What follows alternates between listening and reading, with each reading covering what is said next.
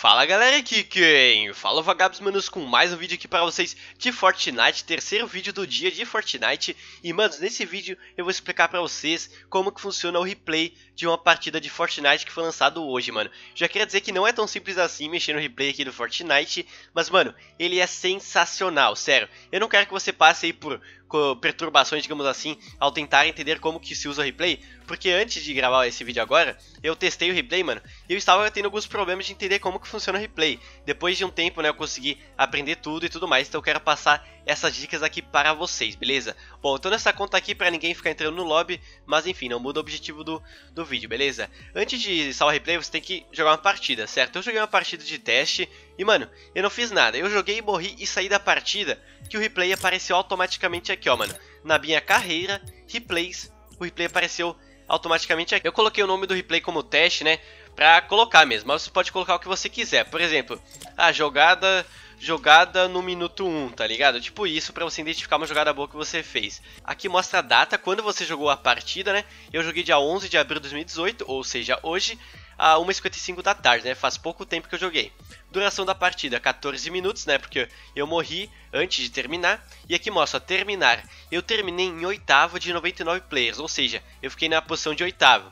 E, né, ou seja, quando eu fui eliminado, tinha ainda 7 players vivos. E eu eliminei duas pessoas né, na partida. Então se eu clicar aqui, você pode ver que tem algumas opções aqui embaixo, como renomear, jogar, que seria ver o replay, excluir, e também tem a opção abrir pasta de replay.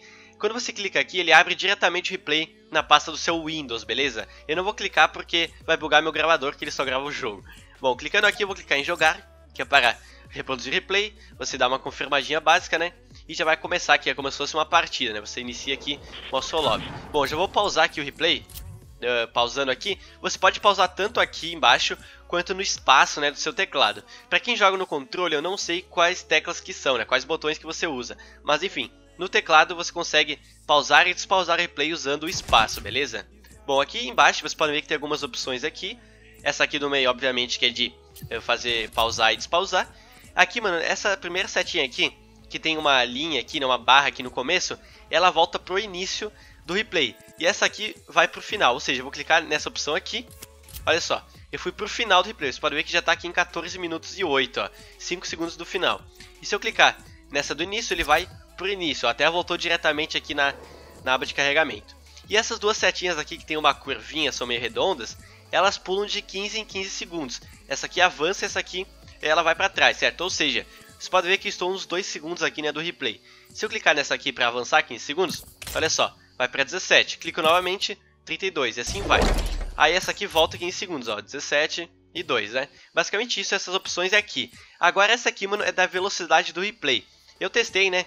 E ele chega numa velocidade máxima aqui de 4 vezes, ou seja, vou adiantar um pouco aqui a partida, colocar mais ou menos aqui, esperar carregar um pouquinho, olha, botar mais no meio aqui, ó, aqui, e vou colocar uma vez, né, que é o padrão, vou colocar 4 vezes, que é o máximo, né, que o replay permite, ou seja, 4 vezes mais rápida.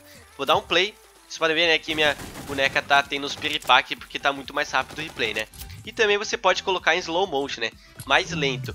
O máximo que dá pra colocar é 0.1 vez, né? Ou seja, uh, ah, 10 vezes mais lento o replay. Olha só, 0.1 é o mínimo que tem. Vou dar um play, vocês podem ver que tá em câmera lenta, mano. Isso vai ser muito massa para fazer uh, montagem, né? Fazer, mano, vai ser muito. Esse modo replay achei sensacional. Mas, mano, essas opções aqui embaixo são só o começo do que é o replay aqui no Fortnite. Eu vou voltar aqui no início para mostrar para vocês uma coisa que eu tive alguns probleminhas né, antes quando eu tava mexendo no replay. Vocês estão vendo que aqui eu seleciono o jogador que eu quero telar, certo? Mas não preciso só clicar nessa setinha que vai mudando um por um. Eu posso, por exemplo, clicar na tecla M, que seria do mapa, ou tipo que você joga no controle e clica na tecla onde vai o mapa, e aqui selecionar o jogador que eu quero, mano. Vocês podem ver que tem todos os jogadores aqui da partida. E aqui do lado mostra quantas kills cada um fez. Olha que da hora, mano. E aqui onde tem essa setinha amarela, esse íconezinho amarelo, é o player que eu estou telando. Eu estou telando o Scorpion Rei nesse momento. Ah, por exemplo, você jogou a partida com um amigo, você que não quer ficar trocando aqui diretamente, clica aqui no M e seleciona aqui, por exemplo, esse, esse, esse cara aqui, entendeu? Aí vai direto no cara. E aqui, mano, nessa abinha do lado, mostra qual tipo de câmera você quer lá o oponente, ou qual tipo de câmera você quer ter. Essa third person, como já diz o nome, é terceira pessoa, beleza? Então você pode ficar arrodeando aqui no cara, com o mouse, segurando o mouse, você rodeia aqui, você dá um giro no cara, e clicando QE, a, no teclado, você aumenta a distância, ó. Q vai mais perto e E vai mais longe. Então essas são as funções aqui da third person, beleza? E também tem o zoom, né? O zoom aqui com o scroll do mouse, beleza? Aqui no drone follow seria tipo um drone, né, que seria a câmera que vai seguir o jogador. Por exemplo, vou clicar um drone follow aqui nesse cara e pegar outro oponente aqui, só para ter uma skin mais bonitinha. Não, capaz, vou pegar esse cara aqui mesmo, eu vou dar um play. Vocês vão ver, botar em uma vez aqui, né? Pra ficar mais, mais rápido. Botar em uma vez, vocês podem ver que, ó, tá seguindo o cara. Eu não tô mexendo em nada, eu não tô fazendo nada. A câmera simplesmente segue o oponente. E eu posso clicar, tipo, W, que seria pra ir pra frente, chegar mais perto do cara, ou S, pra ficar mais longe. Aí o cara sumiu, né? É porque ele entrou no ônibus. Mas enfim, vocês entenderam, né? Clicando no, no W você vai pra frente, botar aqui no Drone Follow novamente. Ó, no W você vai pra frente, no S vai mais longe, no D você vai mais pra direita e no A você vai mais pra esquerda. E se você não fizer nada, como eu falei, quando eu estiver me mexendo, o drone vai seguir, né? Pera aí. Deixa eu pegar aqui, ó, ele está longe, ó, ele está muito longe. Segura o W que ele chega mais perto, beleza? Olha só que da hora pegar essa visão aqui. Vou pausar aqui mudar aqui o tipo de câmera, botar Drone Attack, mano. O que esse Drone Attack faz? Ele faz qualquer coisa que você quiser aqui no personagem, tá ligado? Aqui, na verdade, na partida, olha só. Ele pode ir pro lado, uh, qualquer direção do mapa, pode dar zoom. Ele, esse aqui faz tudo, ele pode dar zoom, ir pro lado. E aqui você tem a posição no WASD, né? Então você vai pra frente, pra trás com o WASD. Digamos que é uma câmera livre de certa forma, né? E você gira aqui a câmera também, né? Ele meio que foca no personagem, né? Se você dá um play, vão ver que ele vai seguir o personagem. Então é uma câmera automática também, tá ligado? E você pode mexer na altura na tecla Q e E. Dependendo do tipo de câmera, o Q e E fazem funções diferentes. Como eu falei, na Drone Follow, se eu não estou enganado, ou na Third Person, o Q e o E é mais perto e mais longe. Mas nesse Drone Attack é a altura, olha só. O Q ele vai mais para baixo e o E vai mais para cima, beleza? Mas mano, esse Drone Attack eu achei muito massa. Agora o Drone Free. Bom, o nome já diz que é câmera livre, ou seja, você pode ir em qualquer parte do mapa, mas diferente do Drone Attack, esse Drone Free, ele não foca no seu personagem, ele não é automático, ó. Eu vou dar um play, não estou fazendo nada, ó. A câmera não se mexe. No Drone Attack, se eu mantenho, se eu não faço nada, ele segue o personagem, né? Esse Drone Free é você que controla. Ou seja, eu posso pegar um ângulo aqui, né? Por exemplo, eu venho aqui na casa e para mexer é igual ao Drone Attack, ó. WASD é a posição, ó. Vai mais para frente, para trás, para os lados e o Q e o E é a altura, beleza? Tem ali as funções aí embaixo, vocês estão vendo. E também tem o zoom, né? Como girar também a posição fazendo isso. Por exemplo, eu quero pegar uma, uma play tipo daqui de baixo, ó. Eu vou baixar a altura, vim aqui, por exemplo, finge que tem um cara aqui atirando, estão se matando. Você pega essa, essa play, digamos aqui, mano. Esse Journey Free eu achei muito útil, principalmente para tirar screenshot, mano, de thumbnail, velho.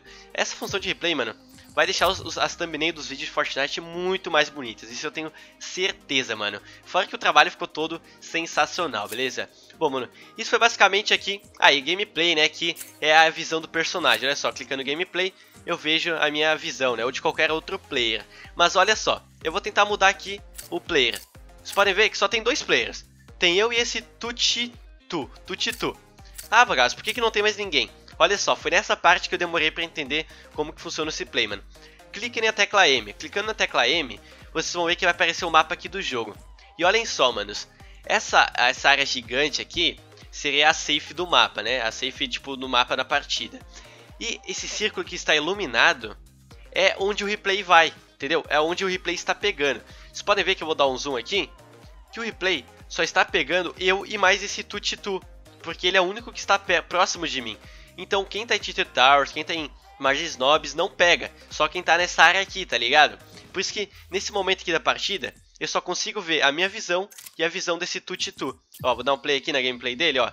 Essa é a visão dele. Eu não vi ele aqui, ele tá bem perto de mim, mas enfim. E se eu pular aqui, por exemplo, para o final da partida, onde eu estava mais próximo de alguns players, vou pegar aqui minha visão. Olha só, já tem mais players, dá pra ver, né? Vou clicar na tecla M, vocês podem ver, olha só, o círculo iluminado é o círculo que está pegando os players. Olha só, tá pegando uma boa parte já dos players da partida. Ó, tá pegando todos esses oito players aqui. O único player que está vivo na partida e que não está pegando é esse twitch.wtuberbr, mano. Porque ele está fora aqui da safe, ó. Se eu der um zoom aqui, uh, acho que não dá pra ver ele, né? Porque ele não tá aqui perto. Mas enfim, você pode ver aqui, ó. Olha só, aqui no círculo iluminado tem 1, 2, 3, 4, 5, 6, 7, 8 players. 3, 4, 5, 6, 7, 8. Esse Twitch.wt é o único que está fora aqui dessa área iluminada, né? E esses que estão em vermelho aqui são os que morreram, né, na partida, então não tem como você ter lá. Então, por exemplo, se você salvar um replay, vai depender muito em qual momento da partida você está e os oponentes estão próximos de você para você lá esse oponente. Você não pode lá um oponente que está tipo a 400 milhões de metros de você, entendeu? Você só pode ver o replay quando o oponente está próximo de você, mano. Isso que eu achei muito interessante também. Eu demorei para entender um pouquinho, mas depois eu entendi, mano. Sempre olhem essa área que está iluminada aqui do mapa, ó. Por exemplo, no começo da partida, como eu falei, deixa eu clicar aqui de novo, uh, só tinha eu ali próximo de de... Aqui ainda tá no ônibus, né? Parabéns, Agabs. Clicar aqui, ó. Só tinha eu e mais esse cara próximo aqui da área. Na real, aqui só eu. Olha só, no momento... Uh, dois minutos da partida, só tinha eu na área aqui que pegou o replay. Só tinha eu na área iluminada. Aí se eu tentar mudar aqui o player, ó, não muda. Não muda. Aí se eu avanço um pouquinho, vir aqui mais no meio... Ó, aqui já tem quantos players? Aqui já tem quatro players próximos a mim. Aí eu posso vir aqui e mudar para um desses players, beleza? Ou também clico M clico aqui também no cara, clico nesse cara, que também funciona. Ó. Se eu clico em um oponente que está fora dessa zona do replay, não vai, ó, simplesmente não vai, beleza? Isso eu achei bem interessante para quem não entender muito bem como que funciona a parte do replay, beleza? Bom, não acabamos ainda aqui as funções, tem mais uma aqui que eu achei muito da hora. E mano, ah, lembrando, esqueci de falar uma coisa. Se você quiser tirar essa barrinha do replay, você clica aqui nesse olhinho, ó que ele fica totalmente oculto. Ah, mas deixei oculto, não sei como voltar. Clica na tecla H do teclado, o botão H, beleza? Que você clica de novo, aí vai aparecer outra opção, clica novamente, que volta a barrinha, né? E você pode clicar H, né, que fica mudando, aí digamos que a HUD aí do replay. Bom, agora para a última opção aqui do replay, mano, deixa eu voltar aqui no, no início. Não, vou botar mais ou menos aqui no meio. Deixar focado no meu personagem, beleza? Essa opção aqui, ó, que tem essa câmerazinha aqui. Você clica aqui tem algumas funções, mano. Primeiramente, tem essa exposição automática. O que, que é isso? É a iluminação, digamos assim. Ligado é a padrão do game. Se eu botar desligado, olha só. Tá no zero, né, que é o padrão. Eu posso aumentar, deixar mais claro. E se eu diminuir, fica mais escuro, beleza? Vamos deixar no ligado aqui. A abertura, mano, eu não entendi o que é isso. Eu juro que eu não entendi o que é isso, tá ligado?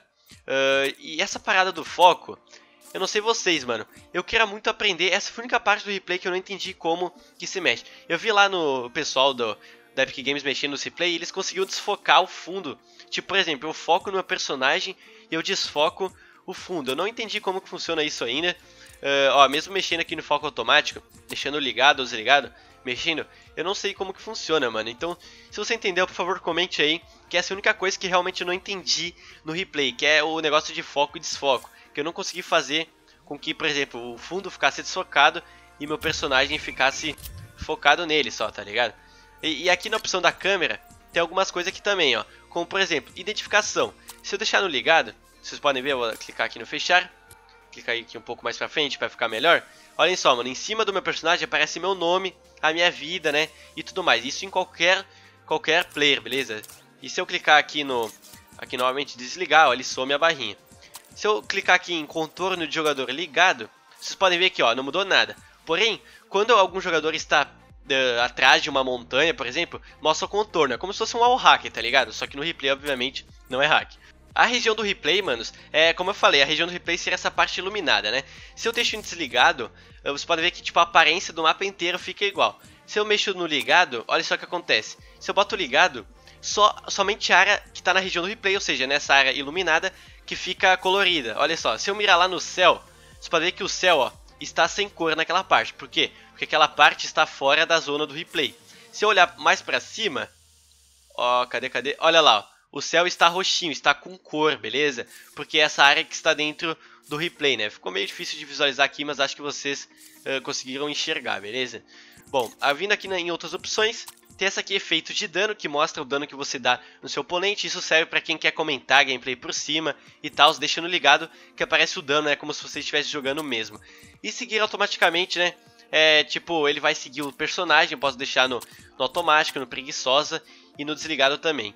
E a distância do objeto, né? Ele muda a distância simplesmente aqui do que você quer focar ou não, tá ligado? Tipo do seu personagem, ele chega a certa distância aqui e é nóis. E efeito de alta qualidade, isso aqui é mais pra quem tem um PC alto desempenho, tipo, quer deixar os efeitos de uma partida como se fosse igual no replay, tá ligado? Ou seja, você que for comentar por cima, eu recomendo você usar esse efeito de alta qualidade no ligado, esse efeito de dano no ligado, e região do replay desligado, obviamente, contorno do jogador desligado identificação desligado também, beleza? Bom, mano, além do mais é tudo isso e também tem essa opção aqui de reiniciar, né, pra voltar tudo ao padrão, beleza? Manos, esse foi o vídeo então explicando como que funciona o modo replay. É bem complexo até, é bem... Mano, é muito interessante, eu gostei demais, mano. Na moral, é porque Games caprichou demais ao fazer essa parada do replay, mano. Porque tem muitas funções, tipo, extraordinárias. A única função que eu não entendi realmente foi a do foi do foco e desfoco. Eu tenho certeza que eu, que eu não consigo mexer bem nisso aqui, mano. Enfim, se você conseguiu entender como que funciona a parte do foco aqui, por favor, comente que eu vou ficar muito feliz em ler seu comentário, beleza? Mas enfim, mano, esse foi o vídeo de hoje aqui, o terceiro vídeo né, de Fortnite. Se gostou, deixa o like, se eu esclareci e dei algumas dicas aí para você não passar por probleminhas ao ver o replay, beleza? Então é isso, manos, aquele abraço, se vemos no próximo vídeo, valeu e eu fui!